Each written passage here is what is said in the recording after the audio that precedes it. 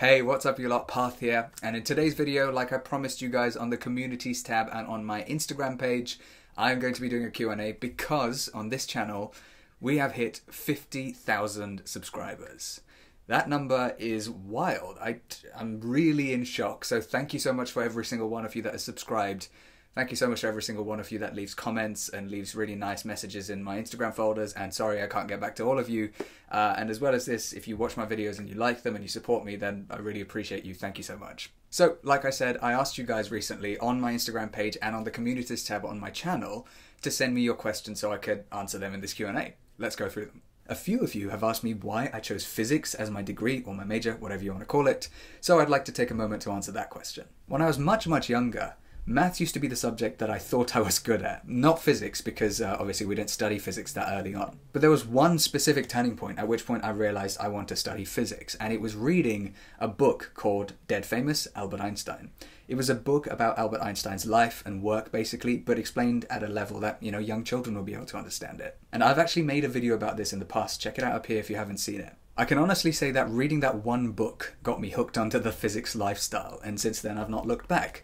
Physics is difficult, physics is interesting, physics is tricky, it's messy, it's a wonderful subject, and I'm super thankful I was privileged enough to be able to study it, let alone at one of the best universities in the world. Why is there a gravitational constant? Wouldn't the equation work without it? Now, the best way that I can think of describing this is that the gravitational constant is a constant of proportionality. If you don't know what that means, let's talk about it. In a very, very simple case, looking at just an abstract idea, we could say that one particular quantity is proportional to another.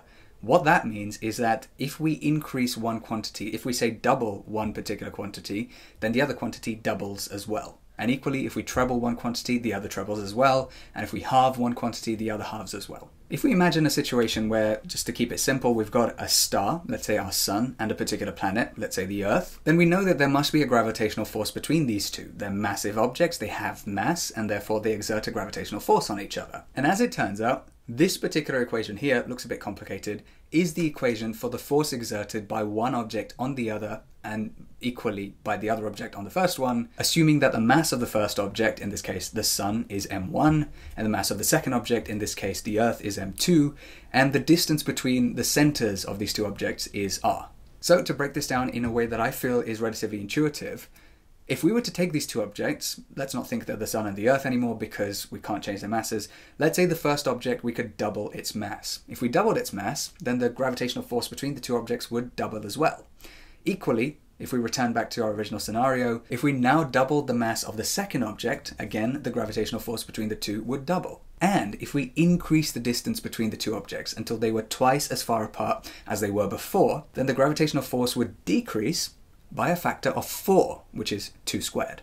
So doubling the distance actually quarters the force, and trebling the distance actually one ninths the force. And so what we've discovered here is that the gravitational force between two objects is directly proportional to the mass of the first object, the mass of the second object, and is inversely proportional to the square of the distance between the two objects. But all this does not tell us anything about the constant of proportionality. This is where the gravitational constant comes into the picture. This is just a value that's measured experimentally. And some people like to think of this proportionality constant as the strength of the gravitational field. I mean, we could talk for days about how the masses of these objects being larger means that the gravitational force is larger, and how separating them decreases the force by a factor of r squared. But this tells us nothing about what the actual values of that force are going to be. And the only way to determine this is by experimental testing. And it turns out that in our universe, the value of g is 6.67 dot dot dot times 10 to the power of negative 11 meter cubes per kilogram per second squared. In other words, if we were to take a mass of 1 kilogram and another mass of 1 kilogram,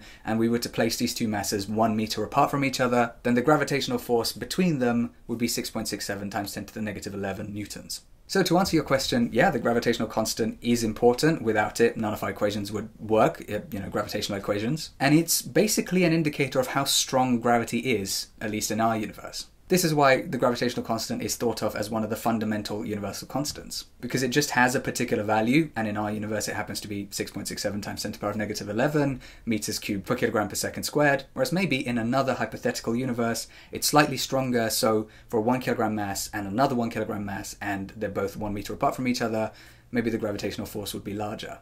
How have you been spending your time during this pandemic? Any fun, cool, exciting things? Thanks for that question. That's a really nice one. Uh, I have been doing what I would say is a fair amount of stuff uh, in, in this quarantine. I'm lucky enough, like I say, to be able to stay at home and work from home as well. And so obviously I've been making a few more YouTube videos than normal. Recently I've been uploading one a week rather than one every two weeks. I might have to switch back to once every two weeks in a, in a short while, just because things get a little bit hectic. But in my spare time, I've been doing as much exercise as I can at home. I've been using the space I have available.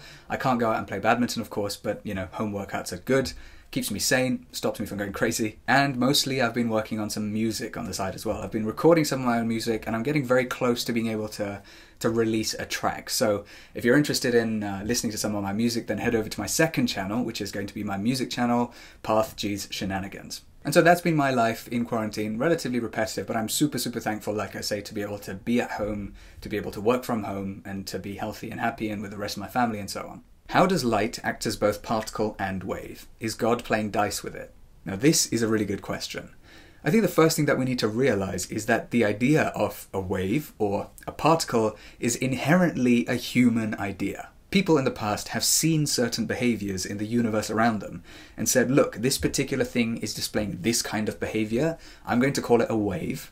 And some other scientists have seen some other things behave slightly differently and they've said, I'm going to call this a particle. And the idea of how waves should behave, as well as the idea of how particles should behave, is based on experimental observation that scientists have made, as well as sort of theoretical development based on the wave and particle models that humans have created. So it's not that light, as well as other things in the universe actually, flip flop between wave and particle behavior. That's not what's happening. What's more likely is that we as humans have just not come up with a good enough model to describe what's happening in our universe. For some reason, we've seen some wave behaviors and we've seen some particle behaviors, not realizing that they're two sides of the same coin, maybe. I think that's probably the best way that I can put it. And so we've come up with these two very distinct models, waves and particles. Whereas in reality, a good model would be an idea that consists of a bit of both. And maybe, who knows, one day we'll come up with a model that describes wave and particle behavior and it sort of comes out fairly naturally from this new model. We could call it a warticle or a pave. I don't know. So yes, scientists were surprised when wave-particle duality was discovered to be a thing, but it's more likely that some scientists in the past saw some wave-like behavior and developed that model, and for other things we developed a particle model, when in reality, for some things we should have been coming up with a model that ended up displaying both kinds of behavior. My goodness, that was a long sentence. But hopefully that answers your question. And if I haven't explained this clearly enough, then and if you've got any other queries, then do let me know in the comments down below. Can you make more videos on thermodynamics and heat transfer? Yeah, thank you so much for your question. I really, really do want to do this because when I was studying physics at university, thermodynamics was one of my more tricky subjects. And so I find that when I talk about these things on a YouTube video, uh, that my understanding improves slightly because I have to try and explain it in a way that isn't too incorrect. So yeah, I definitely want to do this. Like I said, it's a topic I still struggle with, but hopefully I'll be able to produce some videos that you guys enjoy. Can a person who has no innate talent in physics study well if he works hard? Yeah, I managed to do it. I mean, uh, I don't particularly see myself as a, as a really talented physicist or anything like that. Uh, I think I enjoy the aspect of explaining things, which is why I love making these YouTube videos. But certainly, when I'm learning this stuff, I find it really, really difficult. I'm not super talented. I just have to keep grinding away at it until I find a way to understand it that works for me. So yeah, studying physics is really hard work. And actually, it's pretty hard work even for the people who seem to be super talented. Hard work is always the key. It's all about not giving up. It's all about persevering. So yeah, take it from me, somebody who has no innate talent in physics, yeah, you can do it. How do you make your videos? I mean, please tell us about your setup. Yeah, I want to do this. I want to actually make a video about how I make videos because a surprising number of you have asked me, uh, sent me messages asking me how I do annotations like this or you know what camera I use and what microphone I'm using and things like that. So I'll, I'll talk about that in the future. But because the majority of the questions that I get are about annotations like this, I'll just quickly let you know that I write my annotations on a tablet and then I take those annotations and then I combine them or compile them onto my video in Adobe Premiere Pro. Physics or biology, I don't know what to choose. I mean, you're asking a physicist here to give you an opinion, so obviously my answer is going to be a bit biased. You should choose physics, but I can sympathize with that uh, with that dilemma. When I was thinking about applying to universities and such, I was split down the middle between applying for a physics degree and for medicine. Uh, eventually, I realized that I enjoyed physics more and physics was more my calling and so on and so forth. And so I went with physics. How to beat stress. How can you have a relaxed life? I don't know the answer to this one. If anybody does, tell me in the comments below because I could do with a bit of help on that as well. Quarantine workouts, by the way, hair is chill. Thank you. my hair is getting crazier and crazier every day, and I'm having to do everything I can to uh, you know, tie it up, keep it out of my face, and so on. But yeah, quarantine workouts. Um, Athlean-X. Not much more to be said there. Okay, so at this point, I've answered lots of your questions. I sort of went through all of the questions you sent me. There were lots and lots and lots of them, so thank you so much. I hope I've answered a good subset of the questions that you guys sent me. Hopefully, you've learned something from this video a bit about physics, a bit about me, and uh, thank you once again for 50,000 subscribers. I'm still not over that number, and I don't think I will be for a long, long time, so thank you. If you enjoyed this video, please do leave a thumbs up and feel free to subscribe to my channel for more fun physics content. And if you've got any questions or something that I haven't answered properly, or even if I've made a mistake, let me know in the comments down below. As I said earlier, I've got a second channel where I'm going to be posting my music. I'm going to be releasing a track pretty soon as well. So feel free to follow me over there on Parth G Shenanigans and follow me on Instagram at Parth Vlogs. With all of that being said, guys, thank you for watching this video. I'll see you really soon. Bye